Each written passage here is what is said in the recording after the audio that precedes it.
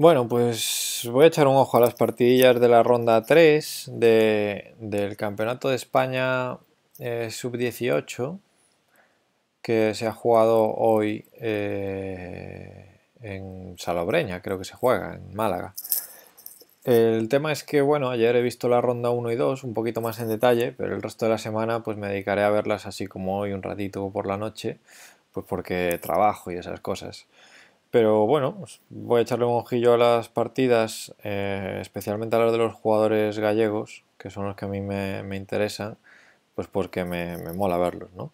En concreto, el, número uno del ranking es gallego, es Julio Suárez, y bueno, pues uno de los principales favoritos y candidatos a ganar el torneo, así que vamos a empezar por ver su partida. He hecho ya varios intentos de grabar este vídeo, así que ya me he visto casi todas las partidas. Entonces, bueno, de todas formas voy a intentar ir rápido porque tampoco tiene mucho sentido. Ni soy gran experto en aperturas, ni tampoco voy a comentar muchísimo, pero, pero bueno. Aquí juega una siciliana, Julio. Jugaba contra, jugaba contra Guillem Salagrán Ferragut, que bueno, pues a juzgar por el nombre y el segundo apellido, pues me imagino que es catalán y no lo conozco pero bueno, casi un, un 2-200 que entiendo que, ha ganado hasta ahora por las dos rondas anteriores y pues está jugando el tablero 1 y oye, todo un, todo un mérito, ¿no? Se juega una línea abierta, no soy ningún experto, esta línea caballo B5 la verdad es que desconozco esta, esta idea, seguramente súper básica, pero bueno, al final entiendo que se juega una especie de centro de, de Maroxi por parte de las blancas, se quedan con ese alfil de 2 un poquito tonto, sobre todo después de este F3, ¿no? aunque luchan contra el alfil de B7 y tal. Y luego siguen una serie de maniobras que, bueno, yo creo que las blancas están bastante bien, ¿no? con torres en el centro y tal, quitando el caballo de A3, que habrá que, que, reagrupar de alguna forma. Todo lo demás parece bastante correcto, esa presión en B6, el caballo ya se reagrupa rápido hasta D4, una, una casilla ideal. Ese alfil va hasta C7. Bueno, yo toda esta serie de maniobras las voy a pasar rápido y voy a llegar hasta el punto clave de la partida, ¿no? Este dama 8, muy interesante, y alfil b8, todas estas maniobras muy, muy curiosas, ¿no? Y a mí me gusta mucho, a veces lo juego con negras, ¿no? Este esquema con alfil en b7 y dama en a8, que, que bueno, es, es, molesto porque te permite tanto jugar en la diagonal, ¿no? En este caso las negras pues van a buscar la ruptura de 5 en algún momento, como jugar en la columna A, ¿no? Y también tienen la ruptura A5 a su disposición. De hecho, tras caballo B3 viene la ruptura, ¿no? Y a partir de aquí estalla, estalla la posición, se abre el centro, se activan todas las piezas y, a partir de ahí, pues las, negras sacan un poquito de provecho, ¿no? A pesar de que la posición sigue bastante igualada, voy a ir rápido. hay un punto aquí, tras torre por, torre por, caballo F5, que por otro lado es la mejor jugada, amenaza un doble en E7, ¿no? La torre se tiene que mover y va hasta C2, ¿no? Y esta es la posición clave, creo, eh, donde, bueno, pues el centro ha explotado, se han cambiado muchos peones y, un par de torres. Y la verdad es que, bueno, se amenaza torre por F2, lógicamente hay que hacer algo con el alfil de F2, pero las blancas, bueno, pues parece que están como ganando el peón de, B6, pero tampoco es fácil, ¿no? Quedarse sin, ese alfil de, negras. Mm, yo creo que es una posición bastante igualada, ¿no? Dicho lo cual, pues las negras están súper activas con esas piezas pesadas en la séptima, ¿no? Entonces, bueno, pues posición de, muy doble filo, ¿no? Y aquí las, las blancas se equivocan un poquito y tras alfil G3, una jugada bastante natural, eh, amenaza alfil por b8, caballo por b8, torre de 8 combate. Alfil por g3, una respuesta bastante natural por otro lado. Y aquí lo normal sería pues caballo por g3 o h por g3, ¿no? Sin embargo aquí se equivocan las, las blancas y buscan una combinación táctica espectacular que no sirve para nada. Eh, bueno, hay que decir que, bueno, es muy fácil meterse con jugadores, sobre todo con jugadores que son mejores que yo. Es muy gratuito quizás meterse con ellos. Eh, a juzgar por, bueno, aparte de estar jugando contra Julio, eh, seguramente aquí ya estaba apurado de tiempo, a juzgar por cómo acabó el reloj y las pocas jugadas que hubo a partir de aquí. Pero bueno, la verdad es que salió un poquito el tiro por la culata aquí al jugador de blancas, que intentó una combinación espectacular que, bueno, pues la idea básica es torre por d7 y si caballo por d7, dama d4 con amenaza de G7, eh, dama por g7 mate y dama por d7 ganando dos piezas por, por, la torre y con amenazas de mates también, ¿no? El alfil en f1 parece que durante unos tiempos o durante algún tiempo evita los mates en la primera por su parte, así que bueno, pues parece un tema como que funciona, puede funcionar, tal. Pero bueno, no olvidemos que aquí tenemos pieza de menos en esta posición, lo normal sería la recaptura de la pieza. Entonces la combinación de torre por d7, caballo por d7, dama d4, si al final vamos a tener dos piezas por torre, estaría guay si hubiéramos recapturado la pieza, si no va a ser tirar la calidad, ¿no? De hecho al final se quedan con la calidad de menos. Eh, bueno, sigue la combinación esta y aquí, pues claro, el problema es que las negras, aunque tienen jugadas únicas las encuentran, ¿no? que son alfil e5, entonces hay que comer la pieza en d7 y dama 8 defendiendo tanto el alfil de b7 como los mates en la octava, que era lo que amenazaban las blancas. ¿no? Y en esta posición pues se ha llegado a que las negras se quedan con la calidad de más y el peón de más que ya tenían, además de la pareja de alfiles, con lo cual pues la posición ya es totalmente rendible. Intentan una última presión sobre f7, pero simplemente cambiando piezas y defendiendo el punto F7 no hay ningún problema y tras unas pocas jugadas más las eh, blancas se rindieron en esta posición donde además se están dejando el caballo de 7 que está encerrado y sin casillas porque tras caballo F5 hay torre C5 ¿no? bueno, buena partida de Julio buena victoria y sigue su racha 3 de 3 eh, y que siga así muchas partidas ¿no? Creo que este, este torneo tiene nueve rondas, van solo tres. Bueno, pues mucho todavía por delante. Eh, sigamos con la mesa 2, donde hay otro, otro gallego que se ha metido hasta ahí con gran mérito, que es Adrián, que tras ganar sus dos primeras partidas se ha enfrentado en mesa 2 ni más ni menos que al número 2 del ranking, Miguel eh, Santos Ruiz. Yo decir que ya he visto la partida antes y, bueno, es una partida bastante breve, donde hay un, lío táctico tremendo, donde, bueno, pues hay que, hay que reconocer el mérito de Miguel Santos por encontrar la, continuación más precisa en el momento que hacía falta, ¿no? Eh, vamos a verlo rápido, es una española del cambio con dama de 6 aquí, no, conozco mucho esta, esta, idea, esto caballo a 3 amenaza caballo C4, caballo por E5, entonces alfil es 6, bueno, no vamos a entretenernos mucho aquí. F6 me parece una jugada ya digo, es fácil criticar, es fácil criticar a los jugadores que son mejores que yo. Pero sobre todo viendo cómo continuó la partida, yo aquí me habría enrocado, ¿sabes? Desde esta posición consideraría el enroque en esta jugada, en la siguiente, en la siguiente, la siguiente. Pero las negras por H por B pues no se enrocaron y al final pasó lo que pasó, ¿no? Es fácil criticar, ya lo digo. Es muy gratuito. Entonces aquí, pues posición donde F6, ya digo, un pelín, pelín, dudosa, lenta, extraña. Supongo que quería liberar a la dama de la defensa de D6 de alguna forma, pero no, porque como no hay, perdón, la defensa de, D5, como no hay caballo en, en C6 ni en D7, pues parece que no es fácil defender ese peón para poder mover la dama. Pero bueno, aún así, claro, parece un poquito pérdida de tiempo, ¿no? En vez de enrocarse. Entonces las blancas, pues que ya se han enrocado y ya están medio completando el desarrollo, pues completan el desarrollo, ¿no? Para sacar su alfil tienen que mover el peón de D, pero lo hacen además pues rompiendo, ¿no? Como mandan los cánones. La dama ya está en la columna E, o sea que peligro, peligro si se abre la columna E. Y, y aquí yo consideraría el enroque otra vez, pero Adrián decide comerse este peoncillo que le sabe muy sabroso. Torre de 1, amenazando recuperarlo inmediatamente y creo que hay que, creo que, hay que enrocarse aquí. Por lo menos creo que hay que devolver ya el peón. Porque, bueno, Adrián lo intenta defender, pero tras C3 pues no hay, no hay forma, no hay forma. Ese peón se va a perder. Entonces al final decide hacer D3 tras una, una pensada, ¿no? Estas jugadas las está pensando bastante Adrián, así que no me voy a no me voy a ensañar porque seguro que tiene mucha más idea de esta posición de lo que yo puedo tener ahora viéndola rápido. Supongo que la idea de D3 es bastante interesante, ¿no? Si dama por D3 se cambian damas y se llega a un final eh, muy similar a, a mí me recuerda mucho a los finales de la, de la berlinesa, eh, por la estructura de peones y el, y el, y la, y la, el reparto de material. Y si torre por d3, que fue lo que ocurrió en partida, pues se aparta la dama y supongo que en algún momento hay ideas de amenazar alfil c4 o alguna idea así, ¿no? Pero bueno, de momento con el caballo en a3 no vale.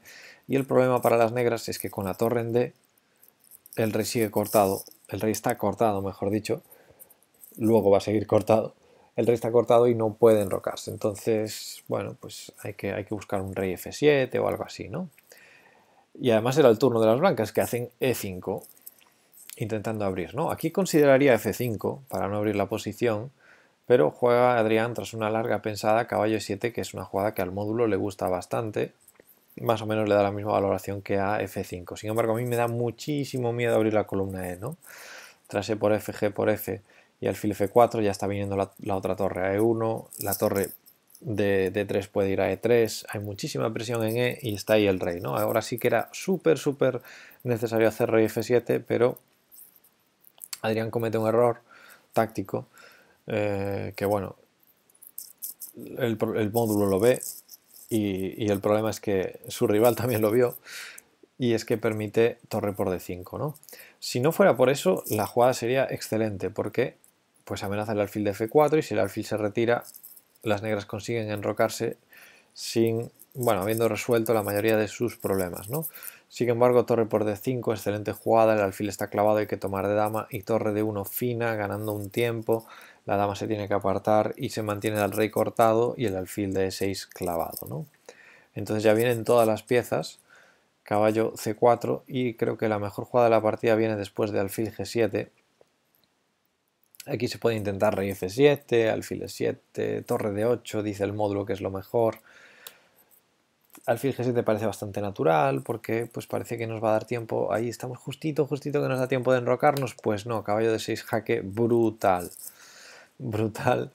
Eh, rey f7 no es posible. Rey de 7 millones de descubiertas. Así que rey e7 única porque si no eh, el alfil de 6 cae, ¿no?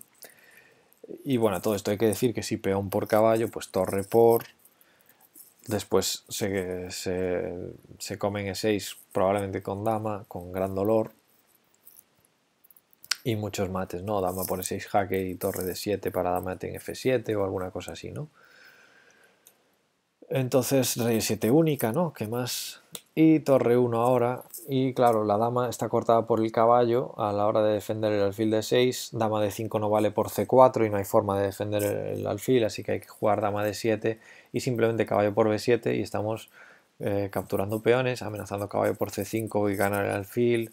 Adrián intenta un poquito ahí defender el alfil y atacar el caballo a la vez pero viene C4 igual que en la, posición anterior C4 y no, hay forma de mantener toda la posición y la defensa del alfil así que decide cambiar piezas y aquí hay que reconocer que aunque dama 7 jaque sería la jugada que yo haría porque bueno, parece ganadora, ¿no? Encierra más el rey, eh, permite ganar el peón de C7, etcétera, etcétera. Aquí el eh, Miguel, creo que se llama así, Miguel Santos Ruiz, pues se encuentra el mate en 5 que hay en la posición con caballo G5 muy fina, C6 para defender F7, ¿no? O sea, se amenaza dama F7 mate y si C6 pues alfil de 6 tal, entonces hay que, hay que comer el caballo. Dama F5 jaque, rey G8 y torre 7 amenazando tanto el mate en F7 como si lo defienden, pues por ejemplo con torre F8, pues dama E6 jaque, torre F7 dama por F7 mate. Así que bueno, como se amenazan esos dos mates, pues ya se puede rendir Adrián. En, su lugar defendió uno de los dos y se dejó el otro, ¿no? Bueno, pues eh, yo espero que, Adrián haya tenido una partida intensa. Ha sido breve, pero bueno, han gastado una hora ambos jugadores. Espero que haya sido suficientemente intensa para que mantenga el ritmo, porque hasta ahora ha hecho un excelente torneo y bueno, pues que siga así, ¿no? Tablero 3 mm, no hay ningún jugador gallego y ya digo, solo me voy a entretener en las partidas de los jugadores que conozco. Pero bueno, está Hipera, que habíamos visto alguna partida de él, ¿no? Eh, y que bueno, ha hecho tablas ahí contra un jugador más o menos pues un poquito por debajo ¿no? en, en Elo. Así que bueno, pues un gran resultado para Roberto Alfaya. Eh, y seguimos así varias mesas donde no conozco a los jugadores hasta la mesa 6 donde tenemos ni más ni menos que a dos jugadores gallegos jugando entre ellos en la mesa 6. Pues oye, eh, una gran noticia para el ajedrez gallego, ¿no? La verdad es que a Héctor Laiz Ibáñez no lo conozco, sé que es gallego porque lo he visto en, la página de Info64. Sin embargo, a Fernando Chao sí que lo a Fernando Chao, perdón. Fernando Chao, vale, sí que lo conozco. Jugué con él el año pasado, creo, en un torneo de rápidas. Ah, de aquellas él tenía bastante menos elo. Yo creo que tenía 1900 o una cosa así. Y se ve que está, se ve que está en progresión, ¿no? Lo que pasa es que lo conocía yo ya de antes por por la Liga Fantástica Gallega, la Liga de Ajedrez que organiza, Liga Fantástica que organiza eh, Radio Ajedrez Profano, un blog y podcast gallego sobre ajedrez. Que, bueno, pues hacen la Liga Fantástica y Fernando la verdad es que siendo el número uno o número dos, creo que el número uno de su equipo, que creo que era Círculo Ferrolano B, no estoy muy seguro, pero creo que el chaval es de Ferrol, pues eh, para su poco elo, digamos que hacía unos grandísimos resultados. Así que un chaval prometedor y que bueno, ya se ve, ya se ve que, sigue para arriba y sigue haciendo, pues ahora en este caso, un, gran torneo que está haciendo aquí, ¿no? Llegando a mesa 6 ya en la tercera ronda.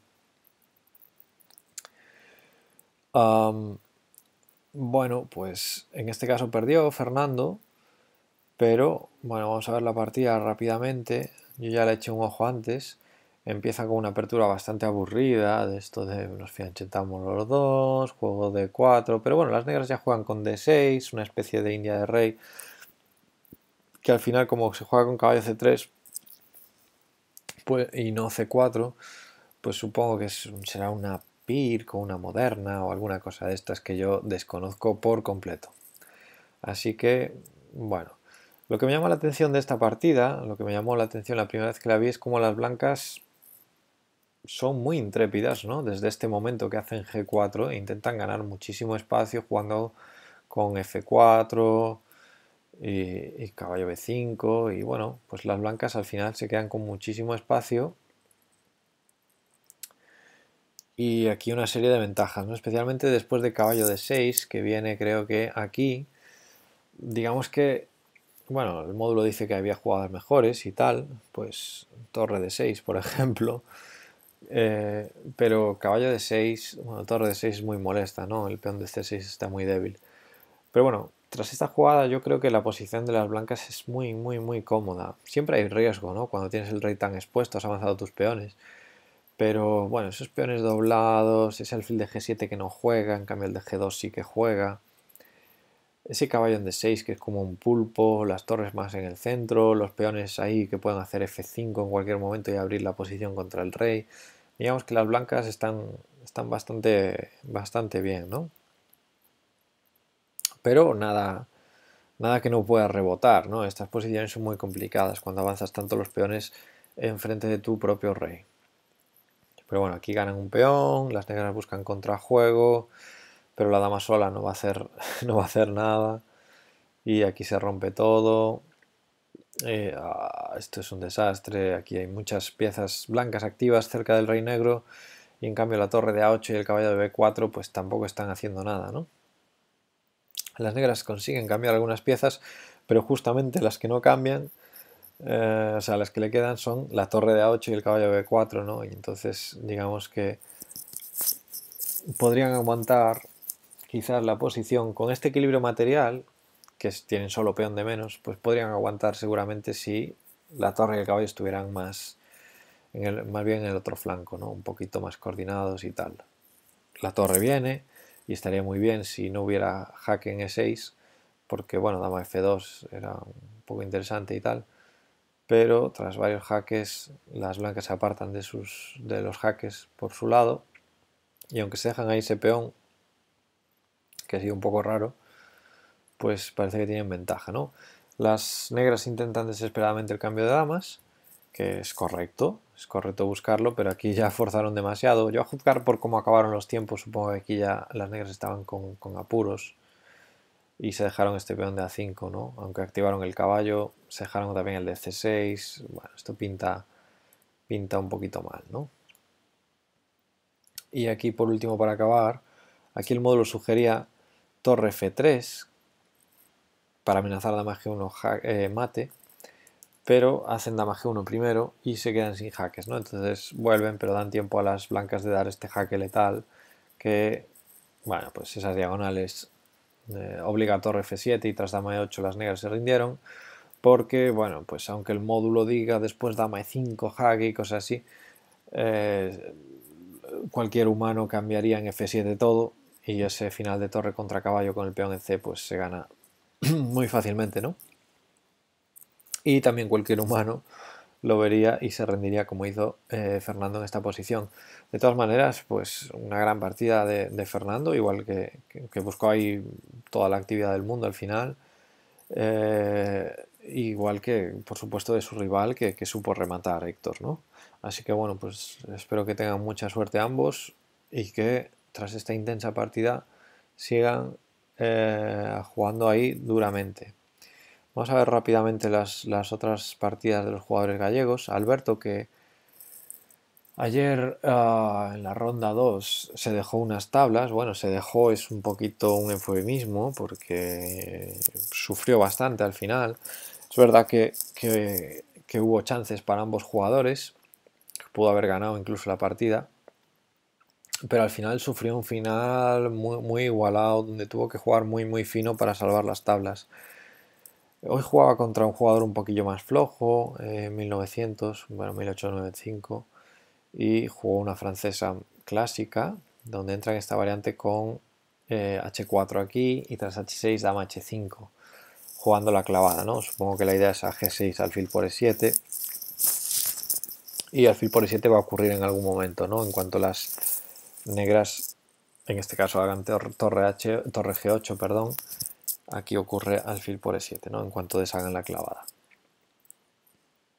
Y bueno, tras varias jugadas, las blancas conceden eh, esa captura de alfil, pero el alfil de c8, pues como siempre, es, un problema, ¿no? Y aquí tras el enroque, quizás el enroque no sea la jugada más fina, o quizás sí, no lo sé, porque tampoco se van a enrocar para el otro lado, ¿no? Entonces probablemente pues sea una jugada bastante normal. Pero ahora me, empiezan a gustar las blancas, ¿no? que enseguida buscan este cambio del caballo de C6. Eh, pues alternativa a cambiarlo es que si lo dejan ahí, caballo por C6, luego o, se toma de alfil y sigue caballo de 4 con presión, o se toma de peón y la estructura es un desastre. Eh, o sea que, no sé, habría que considerar caballo a 7 a lo mejor. Pero bueno, las negras tomaron y ahora la columna C está abierta eh, aquí, tras peón por... Yo antes había pensado, ¿qué pasa tras torre por G5, dama por H6? Bueno, pues me imaginé que tras torre por E5, por ejemplo, dama F4 puede ser molesta, porque si... Bueno, creo que al final no era molesta por dama G5, pero la idea es que si la torre se aparta a H5, que es la única casilla, torre C1 viene con mucho dolor. Hay que tener muchísimo cuidado aquí, entonces, con lo que se hace.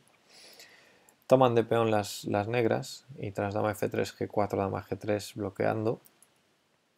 Y tras el jaque, rey f1 muy interesante, ¿no? Concediendo torre h1 y un cambio de torres para entrar en un final pues donde las, las blancas tienen bastante ventaja, el peón de g4 está cayendo.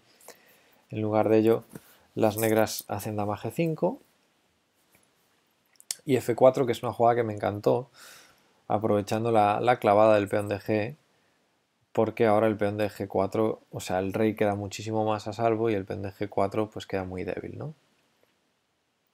Siguen unas cuantas jugadas, siguen unas cuantas jugadas, se cambian un par de torres, ese peón de G4 está muy débil, como decíamos, G3, el peón de, G4 va a ser eh, una debilidad permanente. Y bueno, aquí consiguen muchísima actividad, Parecía que obligaba al cambio de damas, pero no, las negras deciden que no. Entonces sigue dama b6 muy fina, amenazando, no solo defendiendo el caballo, también amenaza caballo c6 con ideas de mates. Así que hay que bloquear esa torre y torre h8 eh, amenazando el alfil.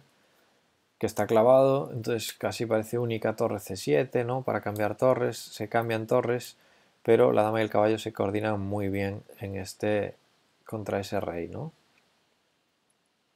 Y aquí en pocas jugadas, no me voy a entretener mucho, las blancas, perdón, las negras se rindieron en esta posición, donde tras rey B8, pues supongo que seguiría caballo por B5 con muchísimo dolor.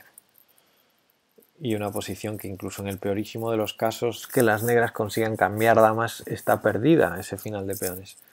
Así que bueno, pues la negra se rinde. Vale, nos vamos hasta el tablero 14, creo, que con eso vamos a ver la partida del otro jugador gallego que había aquí en estos 18 tableros que se retransmiten, que es la partida de David García Sobrino, que le hemos visto ganar en la primera ronda. Eh, bueno, pues, eh, creo, que no, creo que no lo hemos visto. lo que le hemos visto es hacer tablas en la segunda. Le hemos visto, creo que no le he visto la primera partida, que ganó contra Álvaro Bayo, ahora no recuerdo si la vi. Pero bueno, ganó ahí a un 2-200 muy bien. Y en la segunda partida hizo tablas contra un 2-300, que sí que lo vimos, en una partida bastante igualada, sí, bastante igualada hasta el final, donde tenía incluso un poquito mejor estructura al final, pero tenía una jugada y las blancas para, para simplificar a una estructura totalmente simétrica y, parece que David no tenía forma de evitarlo. Entonces se hizo una repetición de jugadas ahí y se acordan tablas. Grandísimo, grandísimo torneo hasta ahora, muy buenos resultados y jugando... Vale, no, en la primera ronda no jugó contra este 2-200. Esto fue en la tercera, que, que es en esta que vamos a ver. O sea que en primera ronda ganó, no sabemos muy bien a quién, lo pondrá en Info64, lo puedo ver rápidamente, si busco aquí en Info64, Campeonato de España sub-18, que debe estar por aquí, no puede estar muy lejos, o igual sí. Veo el sub-16, aquí está el sub-18, estoy un poco ciego. Y pues es que me pica la curiosidad, ¿no? De, ver a, a David y ver con quién jugó en primera ronda con María Garreta Nieto. Efectivamente, mesa 34, esta partida no la vimos. Una chica de 1700, vale. Después de ganar esa partida, pues hizo un grandísimo resultado haciendo tablas ayer contra este 2300. Ayer que hubo doble ronda, o sea que más mérito aún si cabe. Y hoy que ganó a, un 2229 con, muchísimo, con muchísimo mérito en una partida muy breve, por cierto, 20 jugadas eh, que la vamos a ver muy rápido. Creo que, creo que, bueno, que, las negras se equivocaron en un punto dado. Se juega una siciliana donde eh, las, las negras juegan con caballo F6 rápido, eh, permitiendo este E5, ¿no? Y bueno, yo, si fuera yo, aquí jugaría C3 y transpondía a una, a una lapín, ¿no? Pero bueno, supongo que, David tampoco es jugador de, de y entra en esta variante. Juego bastante rápido hasta aquí, o sea que supongo que también... Ah, no, el 5 se la pensó durante 7 minutos, así que igual, no, igual ya está fuera de teoría y todo. Caballo F6, una jugada llamativa, ¿no? No parece lo más habitual. Dama C7, dama E2, parece muy correcto. E6, bueno, alfil F4, que parece correcto también. Eh, ¿Cómo se dice? Eh, especulando con, la posibilidad de enrocarse largo en vez de enrocarse corto. H6, H4, B6 y finalmente enroque largo.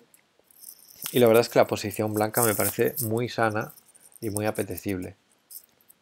Alfil B7, caballo de 2, entrando directamente a las a, los agujeros de la posición, tanto E4 como C4 para dirigirse a D6 y es, molesta esa jugada, ¿no?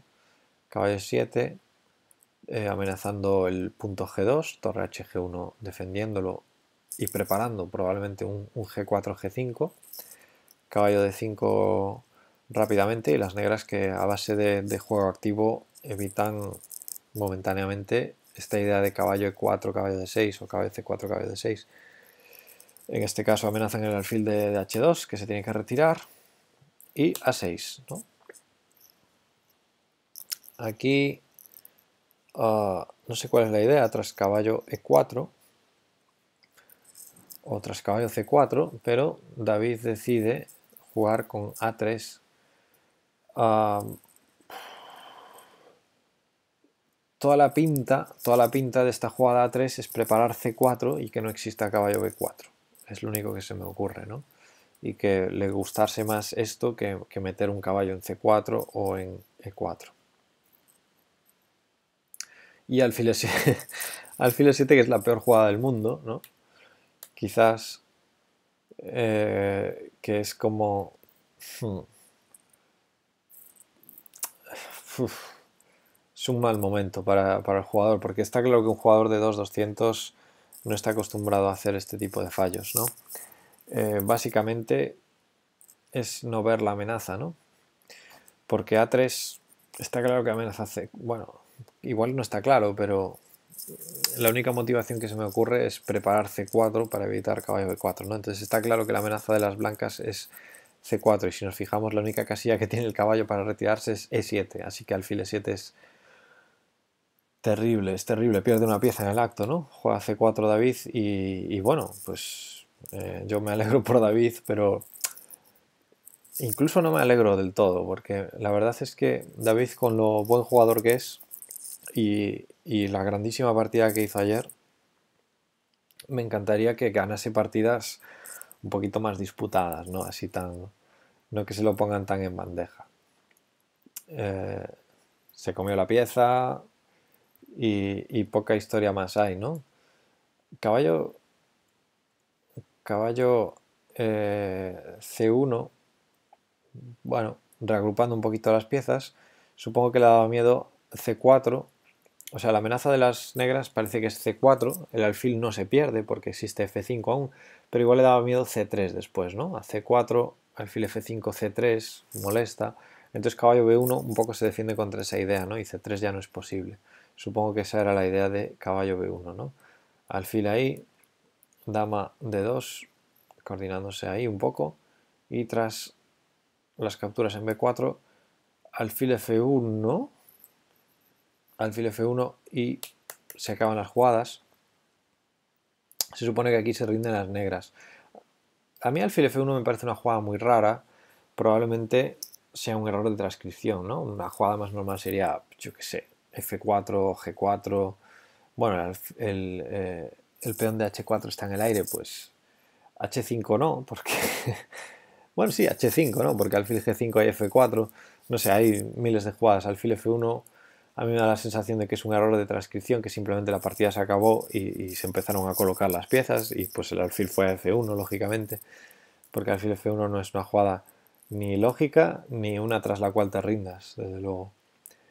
Pero bueno, pues me alegro muchísimo por David, que, lleva dos y medio de tres y que mañana seguramente va a jugar contra un, contra un gran rival. De hecho, yo creo que podemos ver la ronda de mañana, ya debe estar publicada, más que publicada y echemos un ojillo así rápido porque David está en una mesa bastante alta. De hecho ya lo estoy viendo ahí. Vale, Julio sigue... Bueno, pues tenemos un duelo gallego en la, en la mesa 1. Voy a poner así para que se vea. Eh, y en la mesa 1 tenemos un duelo gallego entre Julio Suárez y Héctor Laiz, que tras ganar a Fernando Chao sube hasta la mesa 1. Eh, así que va a ser un, duelo muy interesante. Lógicamente máximo favorito Julio, pero bueno, Héctor ahí donde, donde está es uno de los seis jugadores que llevan pleno hasta ahora.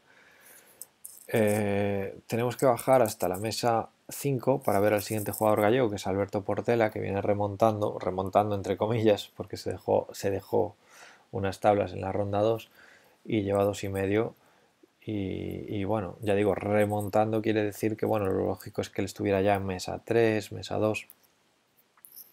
Pero ahí está, solamente medio punto por detrás. Y solamente medio punto por detrás también está David García, que, como decimos, después de esta grandísima victoria en la ronda 3, pues se mete en la mesa 6, juega contra otro maestro Feda, eh, va a tener otra partida muy, muy dura, interesante y, parece que repite repite color y juega con blancas otra vez, pues eh, ojalá, ojalá y tenga una buena partida, ¿no? Y bueno, vamos a echar un ojillo al resto de los emparejamientos. Creo que Miguel Picos también es gallego, pero la verdad es que tampoco lo conozco. Tiene un apellido bastante, bastante ajedrecístico, la verdad. Eh, no veo aquí la, federación. Yo creo, yo, yo creo que es gallego, no estoy 100% seguro. Lo podemos ver en su, en su página de la FIDE probablemente. O probablemente no. anyway. Anyway. Creo que aquí si lo expando, sí veo que es gallego, lo que pasa es que no se ve en la, en la grabación que estoy haciendo. Efectivamente es un jugador gallego, eh, le echaré un ojillo a esta partida también, aunque ya digo no lo conozco, ¿no? Igual que no conocía a Héctor, Héctor Laiz, la Héctor Laiz. Vale, sigamos un poquito para abajo y Adrián que tras la última derrota pues baja la mesa 15, pero ahí está, todavía me dará tiempo de ver mañana su partida porque se retransmiten los 18 primeros tableros, así que podré tener ocasión de ver la partida de Adrián también. Y pues nadie más, ningún jugador gallego más en los 18 primeros tableros. Así que bueno, pues nada, desearle suerte al resto de jugadores. Fernando Chao, que está aquí en la, en la 21. Eh, Andrea Dorado, que está en la mesa 32. Muchos jugadores ¿no? en este torneo, muchísimos, muchísimos. Y, y bueno, más, más jugadores gallegos, pues Mirella que tras una grandísima, pero grandísima partida que hizo en la ronda 1, que tuvo la poca suerte de perder, porque se merecía, yo creo que se merecía las tablas como mínimo, pues solo lleva medio punto, o sea que una pena, una pena porque eso, eso ocurre a veces, haces, te dejas la vida en la primera ronda y acabas perdiendo y luego, luego vas en picado Espero que recupere. Mireia, que es una grandísima jugadora. Y aquí están también algunos jugadores más gallegos. Alejandro Cervini, eh, eh, Oscar Vitorero y creo que he visto, perdón, Alejandro Vitorero y me parece que he visto por aquí a, Oscar, también está Oscar Vitorero, su hermano. Y todos estos tres jugadores que están con cero puntos, pues espero que, espero que remonten un poquillo y que en algún punto, a poder ser que no sea jugando entre ellos, pero bueno, de momento van, van bastante flojillos, ¿no?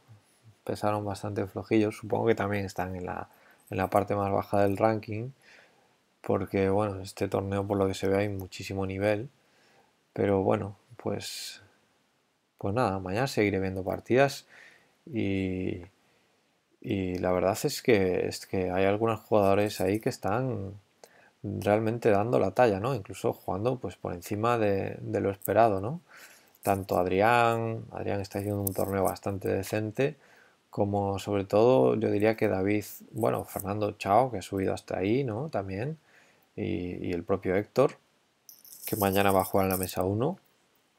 Y sobre todo David García. A mí David García es el que más me está jugando o el que más revelación me está pareciendo, ¿no?